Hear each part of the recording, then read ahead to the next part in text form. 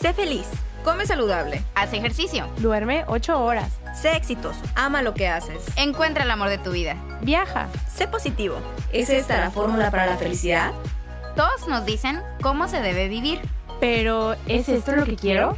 ¿O es lo que los demás me dicen que debo querer? Nosotras somos Paulina, Elisa, Giovanna, Monse. y juntas te damos la bienvenida a esta aventura en la que descubriremos que no existe una fórmula mágica para la felicidad. pero que alcanzarla es más fácil a partir del amor propio. Por eso, Espero que te quieras.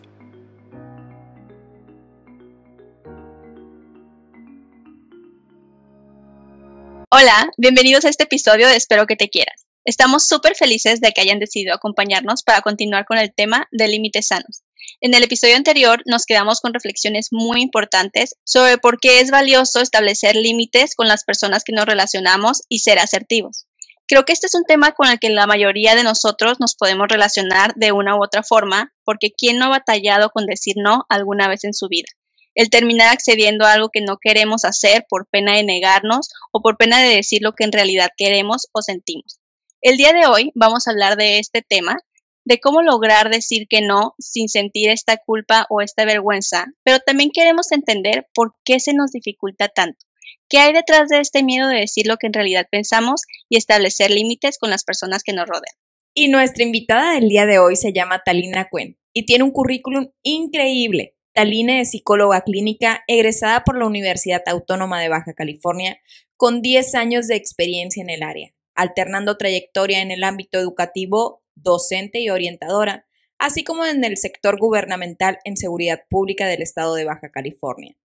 A partir del 2016 fue certificada como terapeuta online por Terapion España, brindando consultas virtuales en el continente americano y europeo. Actualmente dedicada a la psicoterapia cognitivo-conductual en adultos, enfocado totalmente en el cambio y evolución del sistema de creencias de cada paciente. Pero, ¿por qué no nos cuentas más sobre tu experiencia en tus propias palabras? ¿Quién es Talina? Hola, muy buenas tardes. La verdad estoy muy contenta de estar aquí. Ya había querido estar con ustedes y por azares del destino, por azares de ahí del- de, mi vida privada no había estado, pero yo creo que lo más predominante son los 10 años, más que cualquier otro título, lo que me ha dado la experiencia y, y el desarrollo de sentido común también eh, para entender y comprender la psique humana, más allá de cualquier título, es cada paciente, ¿no? Cada paciente, cada año, cada año en, el cual me he desarrollado y las diferentes áreas, la verdad, me han nutrido mucho, me han nutrido mucho y, y creo que esos son como los ingredientes básicos para poder dar eh, y poder estar con cada uno de los pacientes en psicoterapia, tanto virtual como presencial, que por el momento estoy totalmente virtual, pero creo que, que de eso se trata, de eso se trata Salina, ¿no? Son 10 años de experiencia que van empezando para mí, porque yo creo que me queda muchísimo por delante para poder llegar a este entendimiento total. Muchas gracias por aceptar la invitación, Talina. Y para empezar con nuestra plática, Talina, ¿nos puedes explicar brevemente qué son y cómo se ven los límites sanos en las relaciones interpersonales? Eh, La verdad, cuando yo escucho el tema límites personales, es un tema base, totalmente base para todas las relaciones, todas las relaciones interpersonales. Si nosotros realmente trabajáramos en los límites, evitaríamos muchísimas desgracias emocionales futuras, ¿no? Así le voy a llamar. ¿Por qué? Porque si, si trabajáramos más en esta parte de poner en claro qué es lo que es adecuado, no adecuado o negociable para mí, pudiéramos llevar relaciones más sanas y en todas las esferas, ¿eh? No nada más, a veces como que lo queremos enfocar mucho en la pareja, pero la realidad es que desde la familia nuclear hasta la familia que empezamos a formar, nuestras relaciones laborales, nuestras relaciones eh, de amistad, creo que es un todo, esto de los límites. Si nosotros fuéramos un poco más educados en salud mental en cuanto a los límites, pudiéramos también tener una calidad de vida que nos llevaría a poder estar más equilibrados emocionalmente, ¿no? Sin tanto, sin tanto contratiempo, sin tantas emociones reprimidas. ¿Por qué? Porque al final los límites, y ya más adelante les voy a platicar esta parte, tiene mucho que ver con las, con las emociones reprimidas que no pude sacar en su momento porque al final no delimité como tal, como tal cual dice la palabra, ¿no? Lamentablemente hay un malentendido. Es un tema súper subjetivo, ¿eh? ¿Por qué? Cuando decimos límites, muchas veces como que confundimos con confrontación, como que creemos que yo pongo un límite y yo ya voy a decir lo que no está bien para mí, lo que no quiero, y tiene que ver con eso, pero no en el sentido confrontativo como lo, lo creemos a veces, ¿no?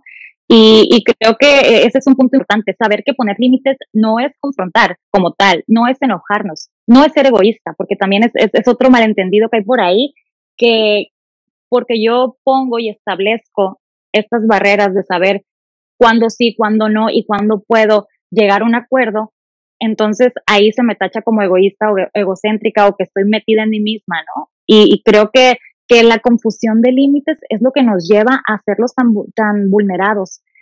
Es un tema muy subjetivo también, ¿no? Entonces, por ahí tengo, tengo que decir esta parte. Es tan subjetivo que, que como ustedes pueden darse cuenta, cuando vamos a tomar un café con una amiga o con unas amigas que platican sobre su historia personal, muchas veces nuestro diálogo interior dice, yo no permitiría eso. Yo, no permitiría eso, lo que ella está diciendo, ya si nos atrevemos un poquito más, ahí vamos a decir, ¿no? De que yo no permitiría lo que tú haces o, ejerces con tu pareja, pero la realidad es que también los límites son muy, muy personales, y creo que en esclarecernos y saber qué es para mí, lo importante es como poner las cartas sobre la mesa. Son personales e intransferibles. Lo que yo creo que se puede llegar a acordar con el otro y lo que creo que no es adecuado, ¿no? Eso no lo permito. Creo que en este cuadro, si yo lo pudiera resumir en eso, los límites personales es esto, ¿no? Lo, que les acabo de decir. Esas son las cartas sobre la mesa que, que todos en teoría deberíamos de poner, pero al final por ahí hay una confusión de roles porque tenemos también una cultura que nos ha llevado o nos ha encaminado a que se pongan como un poquito turbios estos límites y más adelantito les voy a platicar esta parte. Los límites emocionales tienen que ver también con toda nuestra historia, ¿no? Y creo que, que por ahí, por ahí va el, el intro principal de lo que se trata el tema. Me voy a remontar a épocas pasadas, me voy a regresar a cuando éramos niños, ¿no? No sé si a ustedes les llegó a pasar, y es muy, muy cultural también, ¿no? Llegar a una reunión familiar y que de niño me dijeran, saluda, ¿no? Saluda y ya saludé y me dicen, pero dale un beso, pero, pero abraza a tu tío, ¿no? Pero, pero acércate más. Entonces, creo que ese es nada más un claro ejemplo, ¿no? De cuando nosotros empezamos a perder los límites desde que somos pequeños porque no, no tenemos como esa, ese libre albedrío, porque obviamente somos pequeños, pero como padres también educamos a eso, ¿no? Educamos a no tener, a no tener como ese sentido de decir, aquí no, ¿no? Puedo saludar como cortesía, pero no voy a ser espontáneo en, en el afecto que yo, que yo quiera dar, ¿no? Entonces, los límites tienen que ver también con forzar.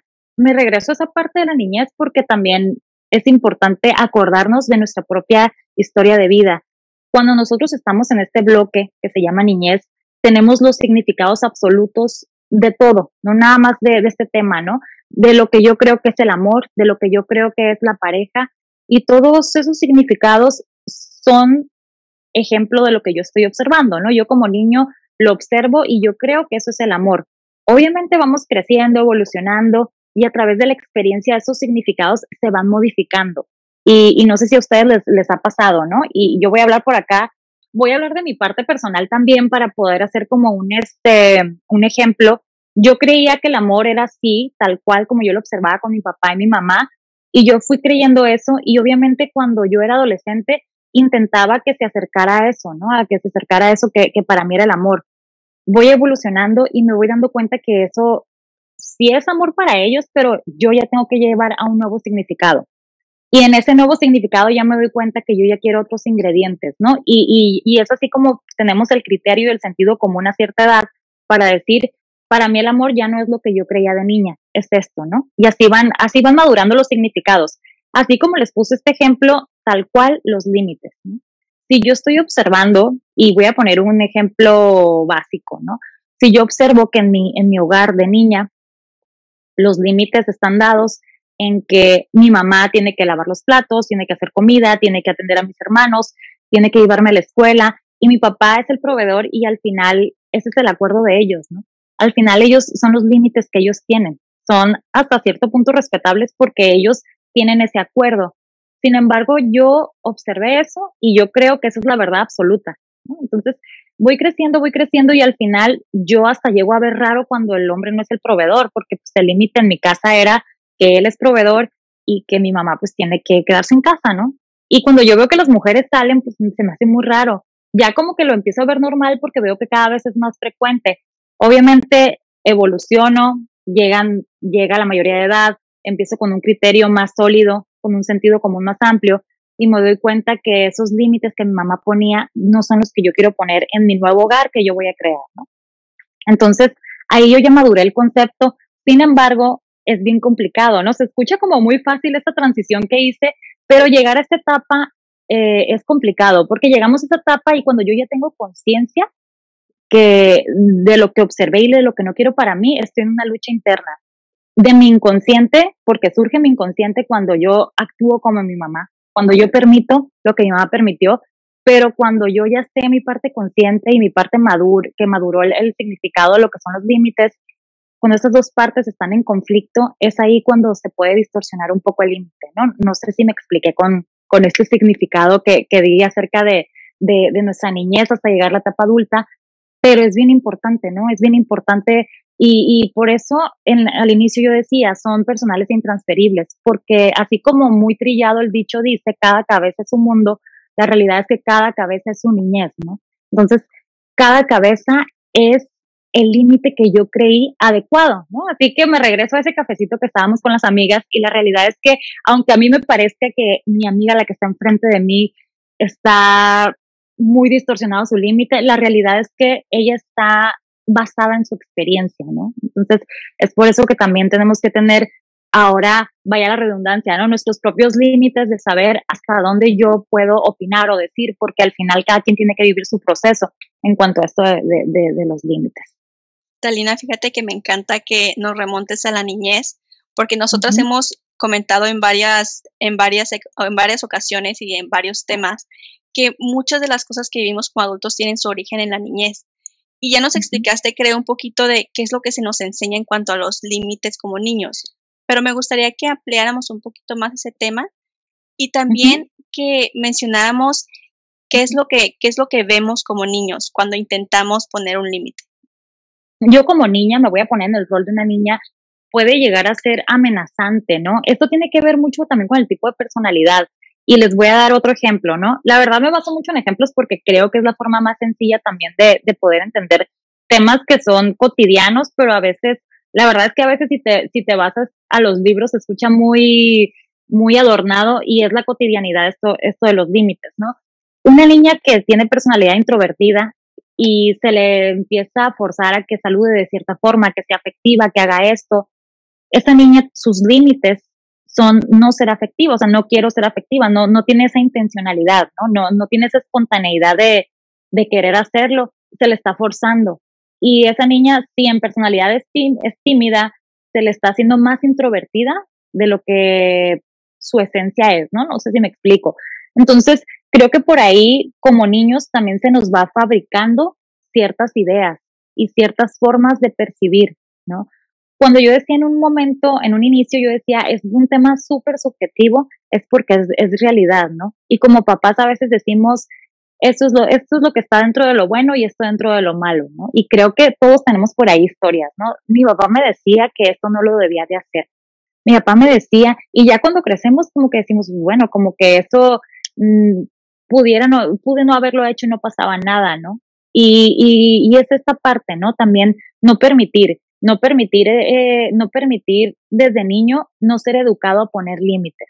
Y lo más natural y lo más, lo más asertivo es sentarnos y con un niño, porque nos tenemos que poner a la altura de un niño, explicar lo que es un saludo, porque al final es un acto de cortesía y educación, pero entender también que en el momento, cuando ya estemos en el, plan, en el plano social, por ejemplo, no se le puede obligar, ¿no? El niño puede poner sus límites y puede, puede dar el saludo verbal, ¿no? Entonces, creo que por ahí también eh, tenemos ese chip y, eso va conectado también a la parte cultural. Y, y, la parte cultural, me voy a meter un poquito ahora, me voy a ir a la parte, a la parte hispana, ¿no? Que, que me subo al tren como hispana.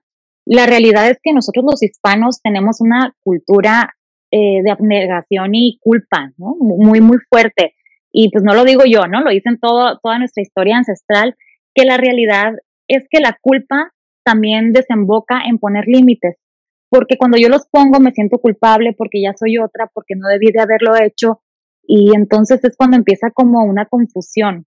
Y voy a poner ejemplos más claros, ¿no? Porque es, es muy común. Si ustedes se dan cuenta, un claro ejemplo es la familia Muégano, ¿no? Que obviamente la familia es el núcleo, es, es la base, ¿no? Es la base, la, la jerarquía de valores la obtenemos a través de la familia y realmente vamos a ser quienes estamos perfilados a través de la familia y obviamente en base al, con las experiencias ya nos vamos formando de otra manera, pero la realidad es que la familia Muégano es un claro ejemplo y ustedes lo pueden observar. ¿Qué pasa con la familia que están todos unidos, que todo está muy bien, que todos están juntos, que, no te preocupes, que vente para acá, que aquí puedes vivir, que aquí puedes estar, se escucha muy bonito, pero en el momento en el que aquí puedes estar y en el que estamos todos aquí en un mismo espacio, en un mismo tiempo, me da permiso a mí de opinar sobre tu vida, de decirte, yo creo que eso, si tú le dijeras de esa forma, es que eso no lo debes de hacer. Entonces eh, empezamos a escuchar, escuchar, escuchar, y en este escuchar, no únicamente escuchar, ¿no? La otra persona ya empieza a intervenir y ustedes pueden verlo, ¿no? Hay cuantos por ahí chistes, memes y todo lo que se puedan imaginar acerca de las suegras, ¿no? O sea, voy a decir un rol bien significativo, porque yo no sé por qué en la vida la suegra, porque pues, puede ser hasta la hermana, la prima, pero la suegra siempre es la que no sabe de límites, ¿no? Siempre va e interviene en, el, en la pareja. Obviamente esto también viene de nuestra historia, de nuestra historia de decir, pues bueno, es que es mi mamá, ¿no? O sea, ella es mi mamá y puede, o sea, puede decir, y es que ella, y tenemos como muchos, como muchos significados de lo que es la familia en cuanto a meterse, en cuanto a, en cuanto a estar, en cuanto a decir, y creo que por ahí tenemos muy, muy confundidos los límites familiares, ¿no? Y, y, eso tiene mucho que ver con nuestra cultura, porque si ustedes lo observan, y me voy a ir a esta parte, aquí estando en frontera, nos podemos percatar que el, el estadounidense no es así, o sea, realmente los límites están claros, están dados y no hay una interpretación de ello, porque aquí viene, aquí viene lo bueno, ¿no? Que cuando ponemos límites hay una interpretación de por medio y por eso no, lo, no los ponemos. Ejemplo claro, ¿no? Si yo le digo que no quiero que su mamá esté viniendo todos los viernes, sábados y domingos por la tarde, él va a pensar que, o le va a decir a ella y ella va a interpretar, o cuando lo deje de hacer ella, va a pensar que porque yo, y empezamos con una interpretación de muchas, ¿no? Unas, novelas mentales por ahí, y creo que, que esos son uno de los puntos también de, confusión, ¿no? Y, hago la comparativa porque al final tú te puedes percatar, un, un, estadounidense pues no va a pensar todo eso, ¿no? O sea, realmente ese es el límite y eso es lo que hay, punto, no hay interpretación, y aquí sí es como lo decía en un inicio, las cartas sobre la mesa, esto es negociable, esto sí y esto no, y no hay interpretación a ello. Totalmente, Talina. Me encanta cómo lo, cómo lo dices y lo cuentas, porque a mí me pasa mucho que al momento de establecer límites me siento egoísta. Y hablabas de culturalmente, algún, esas son algunas de las percepciones. Y a mí me gustaría preguntarte, ya hablando de la cultura, ¿qué percepciones erróneas existen sobre la asertividad y el establecer estos límites? Un, ejemplo muy importante que, que, rige nuestra cultura y que está ahorita muy, eh, muy, muy significativo es el machismo, ¿no? El machismo realmente, si tú te percatas, el machismo no es más que plenos límites. Si realmente yo pongo límites, si yo realmente, así como tú lo decías, ¿no? La asertividad, si yo aprendo a ser asertiva entre lo que permito, no permito y voy a negociar con el que tengo enfrente y no me voy a ir eh, directo a la relación de pareja, me voy a ir a todas las relaciones. El machismo no está nada más en un hogar o en cuatro paredes que se llaman casa, está también en el trabajo, ¿no? También en, en la parte laboral. Si yo aprendo a levantar la mano de una forma asertiva como tal, cuando digo asertiva tiene que ver con la parte de la comunicación, si yo aprendo a comunicar, creo que es una palabra clave para poder poner estos límites el machismo como tal eh, en nuestra historia cultural también mm, lo podemos observar como transgredir cualquier límite personal que vaya a someter a la persona, ¿no? Y empecemos a hacer como algún recuento, ¿no? Creo que todas hemos sido víctimas en algún momento en mayor o menor escala. Y, y cuando, cuando digo, cuando hablo de esta parte que no es muy objetiva, es porque a veces no nos damos cuenta, es como silencioso, ¿no? Como que va llegando, va llegando y ya después hacemos un recuento y decimos, pues bueno, yo creo que esta persona como que sí transgredió los límites, ¿no? Y, y esa es la parte de no que no es, tan, no es tan objetivo. No es tan objetivo esto de, de, de, delimitar o decir hasta aquí o hasta aquí ya no, ¿no? Entonces, creo que, eh, no sé si contesté tu pregunta, pero la parte de la asertividad está vinculado a la comunicación, cómo yo me puedo conectar con el otro, cómo yo también puedo dejar de callar, porque al final también tiene que ver con eso, ¿no? Todo lo que callamos y cómo yo puedo realmente entender que a pesar de que yo no, aquí hay algo bien importante, no porque yo no haya puesto límites anteriormente, no quiere decir que no los voy a venir a poner ahora. En una misma relación se pueden poner límites asertivos y la relación puede continuar. Es un proceso tal cual, ¿no? La otra persona también se va a reeducar a estos límites. Hay por ahí un dicho que yo, muy coloquial, que yo siempre digo que, eh, es, eh, tanto peca el que mata la vaca como el que le jala la pata, ¿no? La realidad es que si yo desde un inicio, obviamente los hubieras no existen, pero si yo hubiera establecido, dicho que es adecuado para mí, probablemente no se hubiera desarrollado esto, esto y esto que está pasando ahora, ¿no? Ya está desarrollado por alguna, por, ah, por X o Y, se desarrolló, desembocó a lo mejor en esta discusión, en esta problemática. Ya estando en esa problemática, puedo resolverlo. Puedo levantar la mano y decir, a ver, me voy a sentar y a través de la comunicación quiero llegar a acuerdos, ¿no? Quiero poder negociar. Entonces, entendamos que todo es un proceso. Talina, y ahorita que nos cuentas esto sobre poner límites de una manera asertiva, ¿por qué nos cuesta tanto trabajo decir no y poner estos límites? ¿Por qué le batallamos tanto con eso? Es bien importante esta, esta parte de decir no. Y no me, no me dejarán mentir ustedes, yo creo que con el tiempo aprendes a decir no. No, no se nos educó, realmente como que la vida y por ahí los deslices, por ahí de que nos caímos, que nos levantamos, aprendes como a decir que no, es como a través de la experiencia, ¿no? Por lo, por lo mismo, ¿no? Porque pues, al final no se, nos, no, se, no se nos educó como tal, no se nos educó así por cómo nos íbamos a ver, ¿no? Y si ustedes se pueden dar cuenta, no se nos, no se nos educa a decir sí a todo o acceder porque se ve mejor, porque es más empático, porque vas a ser más aceptado. Y al final, la, la madre de todo esto, de, de, no saber decir que no, es el miedo. Siempre hay un miedo de trasfondo, el miedo a perder, ¿no? Es, ese es muy predominante. Si yo pongo límites, puedo perder. Y me voy a todas las esperas. Si yo pongo límites en mi trabajo, a mi jefe, que al final este, siento que me carga mucho la mano, que de repente hace comentarios, de repente usa el sarcasmo. Si yo empiezo a poner límites, él puede usar represalias, ¿no? Y entonces me va a cortar las horas de trabajo o me va a poner más carga y al final yo tengo que llegar a mi casa porque tengo una familia y eso no me conviene. Y me da miedo aparte perder el trabajo. Entonces hay un trasfondo de miedo. Me voy a ir al área de pareja. La verdad es que si yo empiezo a poner límites ahora en mi relación de pareja, la conclusión es que a lo mejor el otro no acepta estos límites y esa persona se va y al irse tengo que tocar con mis vacíos y mi soledad y eso es catastrófico, ¿no? No, no lo quiero hacer, me da miedo. ¿Por qué? Porque hay una raíz de todo esto, ¿no? Y, y, la realidad es que, bueno, la parte laboral pues ya la vemos clara, ¿no? Es una situación también, eh, es una situación esta también tiene plano por ahí cultural. Y la parte de pareja, podemos ver también que hay un miedo total y ese miedo total de estar con uno mismo es no saber, no conocerte, creo que lo, lo, más débil, lo más débil de los, de los límites personales es no saber ni siquiera qué es bueno y malo para ti, ¿no? La verdad, esas dos palabras muy rara vez las uso, no me gusta decir bueno o malo porque es muy ambiguo, pero es esta parte que yo les decía, lo que es aceptado, no aceptado para ti o lo que se puede negociar. Si está confuso eso, no vas a saber decir que no, porque el otro puede venir y darte su cátedra y tú vas a decir, pues bueno, yo como no tengo la mía, pues no tengo, no tengo más que decir y accedo, ¿no? Y creo que, que nuestra vulnerabilidad en este aspecto es lo que nos hace no saber decir que no. Hay algo también muy cotidiano, evitar confrontaciones. ¿no? La verdad, ¿para qué le digo si ya llegué a trabajar? Si yo ya llegué cansada del trabajo, él llegó cansado del trabajo, ¿para qué hago un pleito?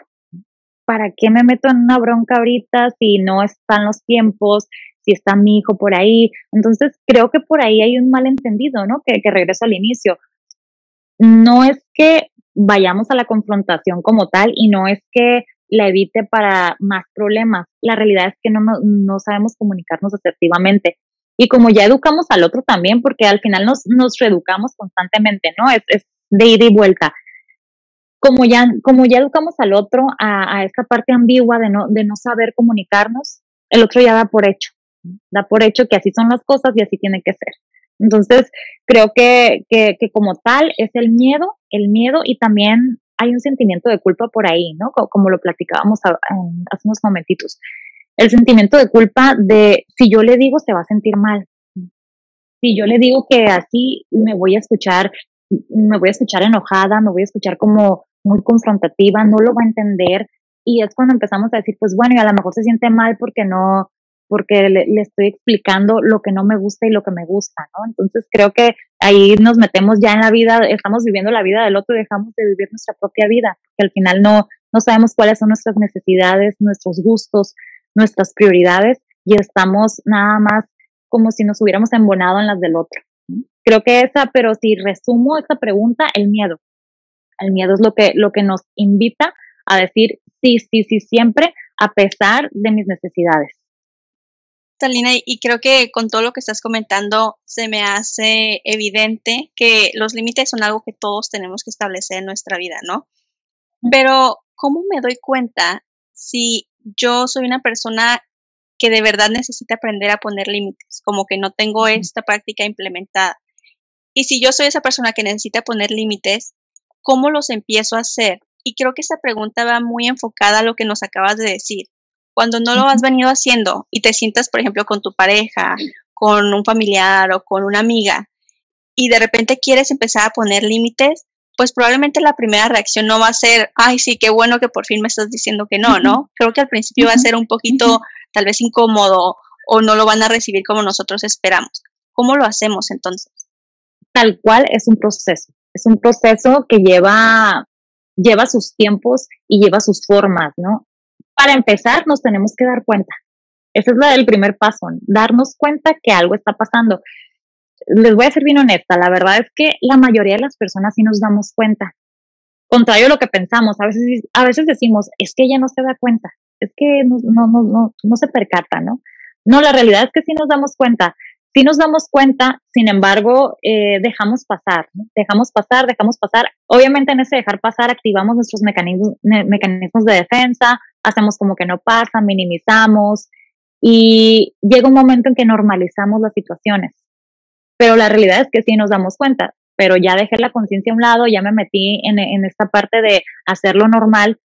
¿Por qué? Porque al final es más, es más llevadero hacer como que no pasa nada, ¿no? Que todos los días estar pensando o estar rumiando en mi cabeza, estar, estar con ese pensamiento obsesivo de debo de hablarlo, debo de decirlo y no hacer nada, ¿no? Entonces, creo que sí nos damos cuenta, empieza a haber disfuncionalidad también en las áreas y empezamos a percatarnos que cuando yo ya me doy cuenta y, sé que no estoy bien en esta área, a veces repercute en otra porque traigo la carga emocional. Cuando hay manipulación y chantaje es cuando también es un punto clave para darnos cuenta, dejar nuestra vida de lado por vivir la vida del de enfrente es otro darte cuenta para poder resolver toda esta parte de ya me di cuenta, ahora qué hago, que aquí, aquí viene la respuesta a tu pregunta, ¿cómo voy a poner límites si me cuesta, no? Si para empezar es muy difícil que yo pueda decir un no, ahora, ¿cómo voy a empezar a ordenar mi vida y establecer límites? Primero tenemos que, gestionar nuestras emociones, empezar a entender qué me causa, qué me causa. Creo que empezamos a valorar las áreas de vida, en, en dónde he dejado de ser yo. Como lo dije en un inicio, estar claros y claras en lo que yo voy a aceptar. Esto es aceptable, esto yo lo acepto, esto no lo acepto y esto es negociable, ¿no? Y voy a poner a lo mejor un ejemplo muy básico, ¿no? En la familia o en la pareja, las salidas, ¿no? A lo mejor yo puedo decir, es que mi pareja no puede salir sin mí. Eso es lo que yo digo. El que el otro quiera o que apruebe es otro boleto, ¿no? Y, y es lo que no entendemos a veces, que yo hago mi idea como si fuera una generalidad y no nos damos cuenta que en estas cuatro paredes somos varios, no somos, somos varios, me refiero a la familia, o somos dos, no somos solo yo, ¿no? Entonces, gestionar y decir, bueno, eso es lo que yo pienso, ¿tú estás de acuerdo? Y si el otro cede porque el otro tiene miedo a perder la relación o lo que sea, ahí estoy invirtiendo los papeles, ¿no? Yo estoy ejerciendo ese poder y al final el otro no sabe poner límites, ¿no? Entonces me deja hacer y cuando me deja hacer, pues yo sigo y sigo y sigo y al final si el otro me deja, pues yo me voy, eh, yo me voy suelta, ¿no? Para, para, para hacer lo que yo quiero y yo voy a imponer mi, mi, voy a imponer lo que yo creo que es necesario y suficiente para mí y no estoy pensando a lo mejor en, en, en la parte de pareja. Aquí me estoy, me estoy, estoy los roles y esa persona, ¿cómo le puede hacer? ¿Cómo le va a hacer para que, para establecer estos límites? El del otro lado, el que está siendo sometido, podemos decirlo entre, entre, entre comillas, porque al final, pues no es tanto someter, ¿no? Es, es un ir y venir porque también, como yo les dije, al final estamos aceptando eh, eh, esa interacción. La realidad es que la comunicación de un lado y la negociación del otro. Creo que esta combinación nos va a llevar a poder saber qué es lo que queremos tanto para nosotros como para nuestras relaciones interpersonales. Y a veces nos podemos ir a lo básico, nos podemos ir a agarrar una hoja y una pluma y escribir qué es lo que para mí es esencial, qué es para mí lo no aceptado, lo que ya no quiero en mi vida y qué es lo que puedo llegar a negociar con la otra persona, ¿no? Tal cual. Creo que teniendo esta base, de ahí nos regimos y de ahí ya nos vamos para adelante. Entender que cuando empezamos este proceso de poner límites, va a haber un sesgo a lo mejor es pequeño o a lo mejor es muy grande, que en ocasiones sí, la verdad es muy grande, de culpa. La culpa que me da el cambio. Porque también a veces el otro me empieza a decir, es que estás bien rara, es que ya cambiaste, es que bla, bla, bla, ¿no? Y entonces yo empiezo a pensar que hay algo en mí, ¿no? Que yo estoy modificando mucho mi conducta, que estoy dejando de ser yo, que esa persona que el otro conoció ya no es. Y, y es esclarecernos, ¿no? Probablemente sí estoy cambiando, probablemente tengo que poner las cartas sobre la mesa y decir, ¿sabes qué? Esto es lo que yo estoy modificando para mi bienestar emocional. ¿Cómo podemos llegar a acuerdos? Me gustaría escucharte y quiero que tú me escuches, ¿no? Entonces, podemos llegar a acuerdos. ¿Qué acuerdos hay? Obviamente el otro también tiene que llegar a un entendimiento de estos acuerdos. ¿Por qué? Porque nosotros, lo repito, ya educamos al otro a que nos trate de cierta forma, ¿no? Entonces el otro también tiene que entrar y subirse a este tren de decir, bueno, entonces ambas partes tenemos que modificar y es un plano de conciencia de los dos lados, ¿no? No nada más de este. Porque en el momento en el que yo tengo la conciencia de lo que, de, de mis límites y el otro no los acepta, hay conflicto. Y si el conflicto no se resuelve, entender que entonces no es mi lugar, ¿no? Porque tampoco puedo vivir en conflicto eterno.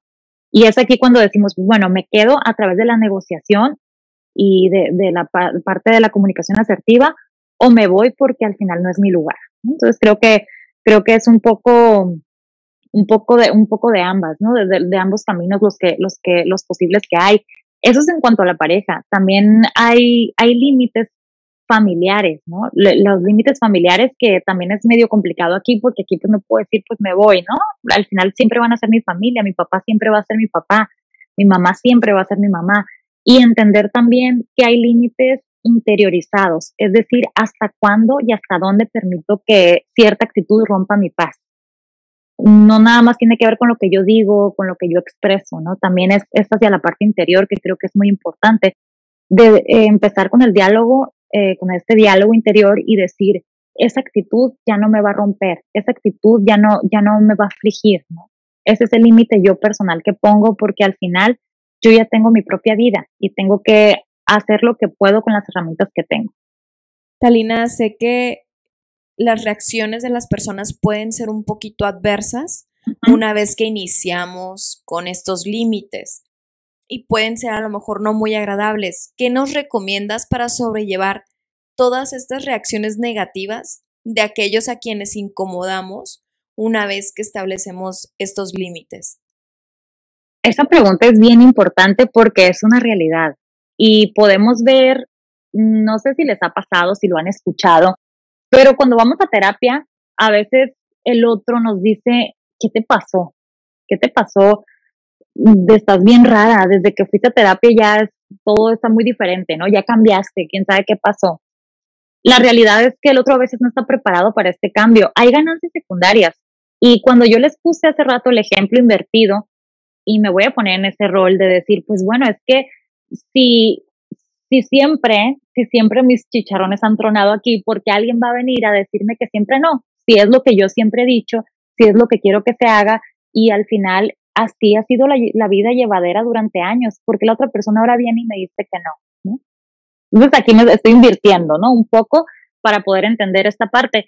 A mí me va a costar mucho trabajo comprender al otro que me venga a decir que, que ya las cosas no van a ser así, que todo va a cambiar. Todo este tiempo he creído que somos súper asertivos. ¿Por qué? Porque al final el otro ha callado. El otro nunca me ha dicho, ¿sabes qué? Es que esto no me parece. Al final él se ha dejado llevar ante los límites que yo he impuesto, ¿no? Entonces para mí va a ser como un golpe, un balde de agua fría que me vengan a decir que todo se va a modificar. Yo digo, a ver, ¿qué está pasando? Me voy a enojar, ¿no? Y, y obviamente con cierta personalidad. Me voy a enojar, me voy a enfadar, voy a sentir como que, como que hay algo raro que está pasando y no voy a entender como la otra persona está entendiendo porque yo no llevo un proceso. Si yo llevo un proceso de concientización, si yo me pongo consciente de que esta relación no está basada en los límites de los dos, solo en los míos, ya puedo aceptar y puedo negociar. ¿no? Y es entonces cuando voy a ceder. ¿Por qué? Porque al final voy a valorar el vínculo que tengo con la persona y voy a ver qué hago, ¿no? Voy a ver qué hago con, con esta relación. Aquí es cuando ya se va a matizar ambas partes. No siempre es así, ¿no? obviamente la realidad es que muchas veces hay enojo, hay enfado. La mayoría de las veces hay, hay mucho enojo porque ya no se, el otro ya no está obteniendo lo que obtenía de nosotros. Y es aquí cuando nosotros tenemos que también entender que es un proceso paulatino. ¿no? También tenemos que dar tiempo que el otro comprenda. No es que el otro como que no comprende y yo salga corriendo. Si mi interés es quedarme, si mi interés es estar y yo creo que hay muchas cosas rescatables aquí, puedo dar tiempo y espacio a que el otro también vaya uh, teniendo este proceso de entendimiento de límites y, y, es paulatino, ¿no? Poco a poco. Oye, Dalina, y sabes que yo me, me identifico mucho con este tema porque a lo largo de mi vida me ha costado mucho trabajo poner límites. Entonces me surge una pregunta. ¿Qué pasa cuando comienzas a decir no? O sea, ya te cuesta mucho trabajo y estás en ese proceso aprendiendo a decir no. Pero empiezas a decir no, pero dices, no es que, o no, uh -huh. lo que pasa es como que dices el no, pero seguido de una excusa o como seguido uh -huh. de una explicación. Que no quiero decir que tan válido, porque creo que es válido dar ese paso de iniciar a decir no, pero ¿qué tanto avance hay cuando dices, bueno, voy a decir no, pero me voy a asegurar de que no estoy hiriendo los sentimientos de esa persona, de que está entendiendo que no lo hago con, con mala intención. ¿Cómo le hacemos para hacer ya por completo ese como que romper y dar el siguiente paso de nada más decir no, pero gracias? Ok, a veces decimos no y damos por ahí una justificación, ¿no? Una justificación que, que le da cabida y que le da significado a este no porque decir un no es una palabra tan cortita y que hace sonar tantas cosas, ¿no? La realidad es que vamos a ir poco a poco, como lo dije hace unos momentos, pero también darnos el proceso de la constancia. Entre más veces yo aprenda a decir que no, sí lo podemos hacer cuantificable, porque cuando empezamos este proceso podemos darnos cuenta que si yo desde enero hasta junio estoy entrenándome en poner límites y estoy entrenándome en decir que no, va a llegar un momento en que esa justificación va a empezar a disminuir y paulatinamente se va a ir, ya no va a haber justificación. ¿no? Si a mí me hace también sentir más cómoda hacerlo en un inicio, lo puedo hacer. Entendamos también que no vamos a cambiar de la noche a la mañana y no va a ser de blanco a lo negro, ¿no? Realmente ese tipo de cambio a veces rebota.